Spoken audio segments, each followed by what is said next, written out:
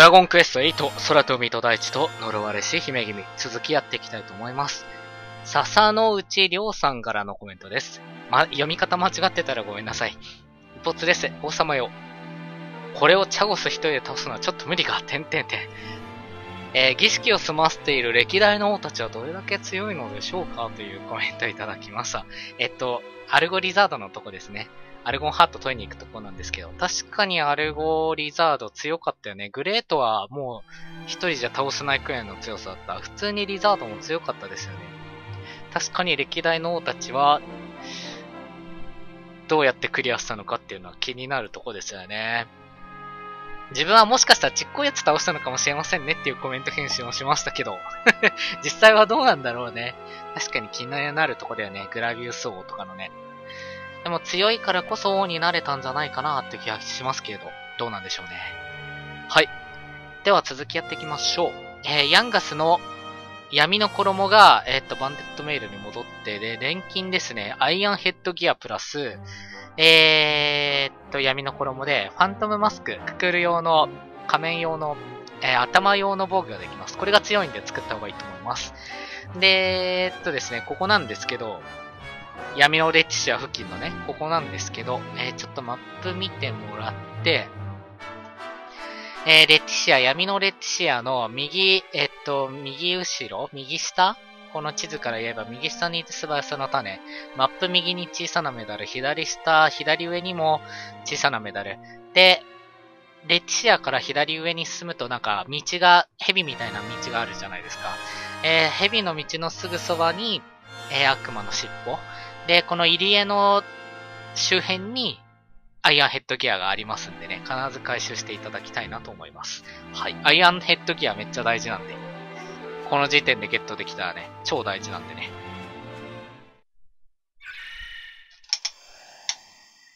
さあ、来たね。関門1なんだよね、ここが。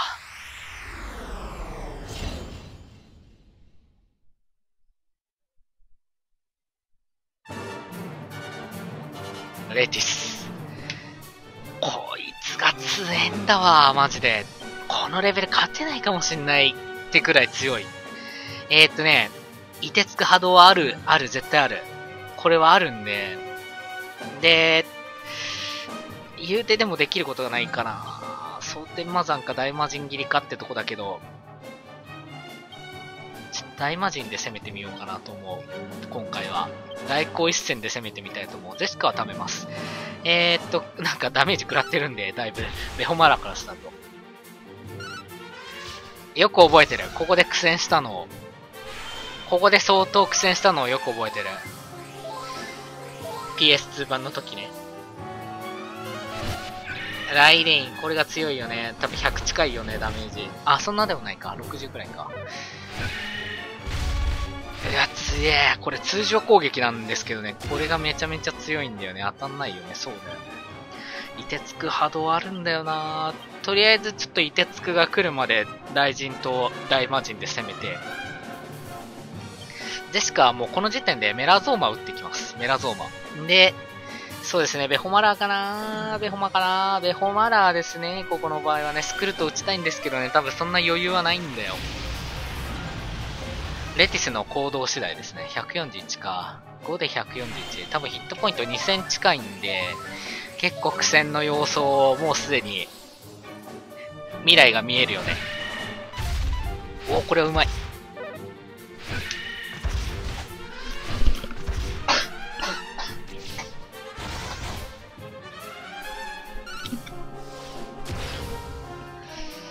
申し訳ない。むせ込んでしまった。えー、ジェシカが食らったのか、ベホマラでいいかな。ここは、大魔神、貯める。ベホまで行きます。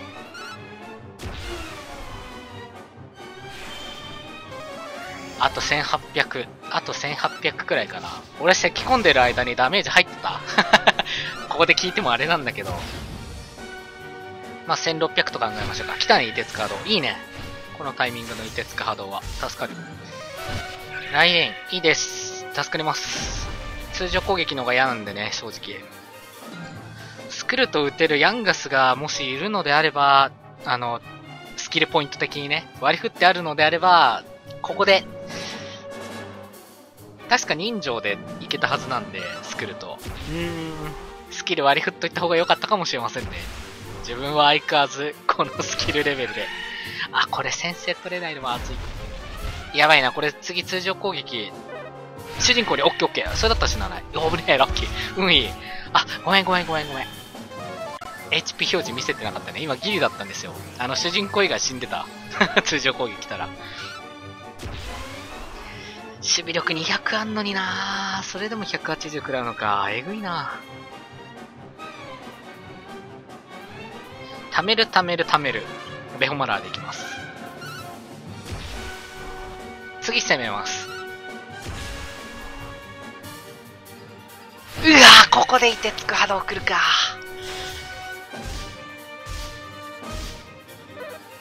やっぱダメですね。これ5ダメの、うん、5ダメですね。5ダメメラゾーンはですね。ベホマラ。これは助かったなククールが217か。OK。あレティスがもしかしたら次先に動いてくれる可能性あるんで、そこが蒼天魔山、来光一戦のメラゾーマでいきます。1段階ダメのメラゾーマでいきます。で、ベホマラーで。あこれはありがたいかもしんない。これ先に動いてくれるのが逆に救いかもしんないですね。でも通常攻撃だったか。逆に次は、ククールパイセンが先に動いてくれないと結構やばいのか。貯めました。蒼天魔山打ちました。37、弱え。やっぱりダメだな。テンション貯められない相手に対しての戦闘がかなりきついな。あと1400くらいですよね。えー、メラゾーマで。で、ベホまで。あ、メラゾーマが救いか、せめてものを。これが相当効いてる。あと、1000、250、あと1000、あと1000。ライデン、ギリジェシカ耐える。危ねえ。ピオリも一回打ちたいかなって感じがするね、正直。次ちょっと打とうか。大魔神ナイス。あと800くらい。大魔神来光一戦のピオリムの、えー、ベホまで。頼むククル先に動いて。あと 600? ちょっとピオリムのあれが遅かった。ナイス助かりますよかったこれで凍てつく波動来るまでは次のターンから多分ね、先制して攻撃できると思うんで。これどうすっかな？ベホマラーかな？魔人パイセン。あと400くらい？えー、貯めるベホマラー。運が良ければあと2ターンで倒せる。いいね。あと200くらいの計算。頭の中では。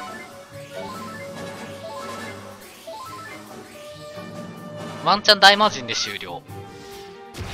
まあまあまあ。波動が来ます。ジェシカ溜まってたんだけどなまあいいでしょう。ピオリムも消えたか。ピオリム先打とうかな、次は。えー、っと、大魔人、来光一戦、ピオリム、えー、そうですね。ここは、スクルトで。これで多分次のターン、凍てつくが波動が来なければ、みんな先に動けるんで。あ、波動が来ますね。でもこれ波動来てくれるのはね、助かるんですよね。一回相手の行動消してるんで、全然こっちの方がありがたいんですよね、実は。当たらない。まあいいでしょう。こんなもんだよ、確率は。おしよしよし。多分、あと、一回当てりゃ勝てる。予想。えー、ん？これ、ピオリム打ったんだよね。じゃここは攻めに転じようか。えー、ベホマ。あ、違う。凍てつカード来たんじゃなかったっけ？あ、ばいばい。こうできます。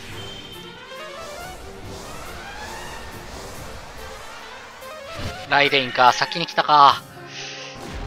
多分この次は通常攻撃になると思うんで、メダパニーマええー、そんなんだ。あー、主人公の混乱は痛い。あー、よかった。ククール混乱しなかったの助かりましたね。ヒヒヒ無駄にヤンガスにダメージ入ったな。大魔神切りああ、まだ耐えるか。じゃあ計算が違ってたか。大丈夫かなあと500くらいと想定しようか。えー、っと、デーモスピア外して、えー、貯めます。えー、しゅん？これバイキルと大魔神切りってあるのかな？ないのかな？確認。で、ほら、ピオリも入ってますからね、先動けますよね。あ、入んないね。あ、でも、うん、計算はほとんど間違ってなかったな。どっかで、あの、マイナスを間違えてたっぽいね、どうやら。いやーよかった。メダパニーマが、割と後の方に来てくれたのが救いだったかなって感じがする。大魔神と一戦好きに切り替えたのは正解だったな。さすがは、我が影を追って、光の世界より訪れし、勇気ある者たち。見事な戦いぶりでした。まさか女性の声を当てるとは思わなかったな。もうお気づきかもしれませんが、今の戦いは、あなた方の力を試すために仕掛けさせてもらったものです。私は今力ある者の助けを必要としているゆえどうか許してください。どういうことじゃ。よもやわしらに村を襲うのを手伝えとでも言うのではあるまいな。だとしたら見くびるなよ。そのようなことにわしらが手を貸すはずなかろう。誤解しないでください。村を襲ったことは私の本意ではなかったのです。とはいえそれは私が助けを欲している理由とも無関係ではありません。私はかつて光の世界をも我が物にせんとする。暗黒神ラプソーンと戦いその封印に力を貸しました。そのため私は暗黒神の配下である魔物たちから恨みを買っておりそれが今回のことの原因となったのです。この島にある私の巣の中には私の子卵が眠っておりやがて訪れる目覚めの日を待っていました。ですがその私の巣が暗黒神の配下であった一匹の魔物妖魔ゲモンの手に落ち卵は人質に取られてしまったのです。ゲモンは卵を救いたければ人間の村を襲えと脅してきました。私はそれに屈してしまったのです。まともに戦えばゲモンごとき敵ではありませんが卵を人質にされては手が出せません。それゆえ私は私に代わってゲモンと戦ってくれる勇気と力を持つ者を探していました。あなた方は私の影を追って臆することなくこの影の世界までやってきた。そして今実際に手合わせしてみて確信しました。ゲモンを倒しうるのはあなた方だけだとどうかお願いします。この島の人々のためにも私の卵を救ってはもらえないでしょうか。もうこれは「はい」を選択するしかないな。礼を言います。やはりあなた方を見込んでこの世界に招いたのは正しい選択でした。私の巣は人の近づけない険しい岩山の頂にあります。ゲモンが見張っているため私が山頂まで行くのは無理ですが麓までなら案内しましょう。どうします？今すぐ行くことにしますか？それでは参りましょう。あなた方は全員馬車の中に入るか捕まるかしてください。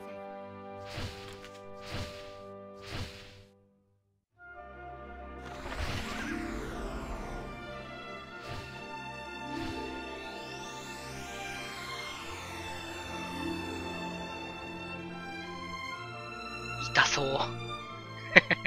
ミーティア姫痛そう。これ以上近づくとゲモンに感づかれる危険があるため私が案内できるのはここまでです。しかし幸いなことにこの岩山の中は空洞になっており人間の足でもなんとか山頂まで登っていけるはず。草原へ戻りたい時は私に声をかけてくれれば元の場所まで運びましょう。それでは私の卵のことくれぐれもよろしく頼みますはい。ということでね、無事レティス戦を終了した後、レティスの真意を知ることができたわけですね。まさかの卵。これさ、あの、あれ、PS2 の時もきっとそうだったんだろうけど、これさ、この卵は伏線なんじゃないかなって思ったんだけど違うのかな今後、なんかね、ドラッグ3に出てくるラーミアっていうね、似たような鳥がいるんだそうです。自分3やったことないからわかんないんですけど、もしかしたら、11、12、13続いていくとは思うんだけど、そこで出てくるのかもしれないね。彼の子孫みたいな。彼なのかな？彼女なのかな？の子孫が、もしかしたら登場してくるのかもしれませんね。はい。ということで、このパートは以上で終わりたいと思います。ご視聴ありがとうございました。お疲れ様でした。